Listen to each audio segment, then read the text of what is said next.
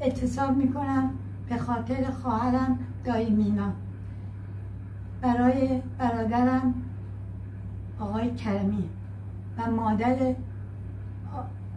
خانواده بختیاری و فرزندانم که در زندان جمهوری اسلامی هستند به خاطر اینا اعتصاب می‌کنم که بیگناه تو زندان هستن.